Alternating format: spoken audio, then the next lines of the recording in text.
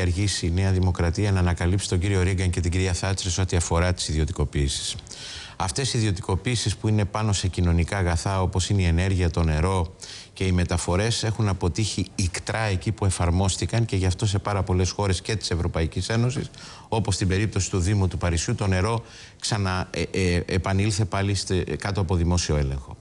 Ε, έχει μεγάλη σημασία να κατανοήσει κανείς ότι δεν μιλάμε πια για τη μικρή ΔΕΗ. Μιλάμε για την καρδιά της ΔΕΗ, μιλάμε για τα φιλέτα, μιλάμε για τις μονάδες εκείνες που είναι λιγότερο ρηπογόνες, όπου η ενέργεια είναι ακριβή και θα είναι ακριβή για τον καταναλωτή. Αυτό είναι δεδομένο διότι οι ιδιώτες δεν έρχονται εδώ για να επενδύσουν για φιλανθρωπικούς σκοπούς και να ασκούν κοινωνική πολιτική είτε προς τις μεσαίες και μεγάλες ή μικρές επιχειρήσεις είτε προς τους αγρότες. Σε καμία περίπτωση εδώ έρχονται να, ε, το αυτονόητο είναι να, να έχουν το κέρδος το οποίο επιδιώκουν. Κύριε Ήσυχε, αν και εφόσον εσείς έρθετε στο τιμόνι αυτής της χώρας θα ακυρώσετε αυτό το Εμείς νομοσχέδιο έχουμε δει με τον πιο ξεκάθαρο περάσει. τρόπο ότι και κοινοβουλευτικά και κινηματικά θα στηρίξουμε όχι μόνο τους εργαζόμενους στη ΔΕΗ αλλά την ελληνική κοινωνία διότι αυτή θα είναι που θα πληρώσει το μάρμαρο. Και τις κινητοποιήσεις τους θα στηρίξετε; Θα στηρίξουμε όλες εκείνες τις κινητοποιήσεις που είναι δημοκρατικές, που είναι μαζικές, που έχουν κοινωνική στήριξη. Είναι δημοκρατική η κίνηση του να κλείσουν οι διακόπτες. Ε, κοιτάξτε να σας πω κάτι.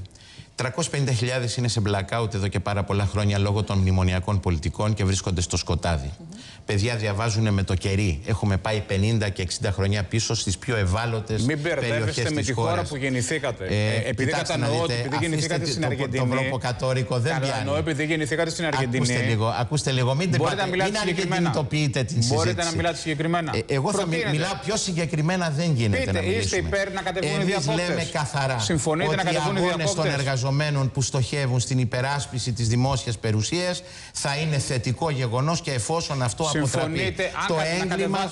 Το, ε, το, το, διακόπτη τον έχετε κατεβάσει εσείς. Ήδη. ήδη το έχετε κατεβάσει ως κυβέρνηση. Εμεί τον έχουμε κατεβάσει κυβέρνηση. Έχετε κατεβάσει Πείτε το διακόπτη. Εσείς... Στα καρτέλ του γάλακτος, στα καρτέλ των αερομεταφορών. Διότι δεν μιλάτε για ιδιωτικοποίηση. Θέλετε Μιλάτε για τη δημιουργία καρτέλ. Θέλετε να μιλήσουμε... Και θέλετε καρτέλ σε αυτή τη χώρα. Θέλετε και αυτά, να μιλήσουμε αυτά καλύτερα για την εθνική ποδοσφαίρο, άμα είναι. Γιατί πετάτε την μπάλα στην κερκίδα. Εσείς καθόλου. Πετά... Αφήστε, αφήστε, μην ποδοσφαιροποιείτε τη συζήτηση.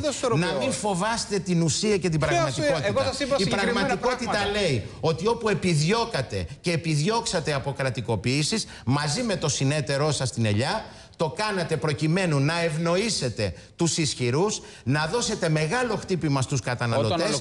Το είδαμε αυτό. Το είδαμε στην περίπτωση της Ολυμπιακής που υποσχεθήκατε σχολεία, νοσοκομεία και σήμερα το να πάει μια οικογένεια να πετάξει στην Κέρκυρα της βγαίνει πολύ πιο φθηνό από το να πάει στο Λονδίνο, διότι είναι απαγορευτικές οι τιμές. Είμαστε η μοναδική χώρα στην Ευρωπαϊκή Ένωση που έχει μία αεροπορική εταιρεία. Μία αεροπορική εταιρεία στην περίπτωση της ενέργειας επιδιώκεται το ίδιο και μάλιστα δίνοντας δωράκι στους ιδιώτες και 2 εκατομμύρια πελατολόγιο. Το οποίο λοιπόν, θα πάει λοιπόν, φιλέτος στο 30%. Μάθετε, μάθετε να μιλάτε σε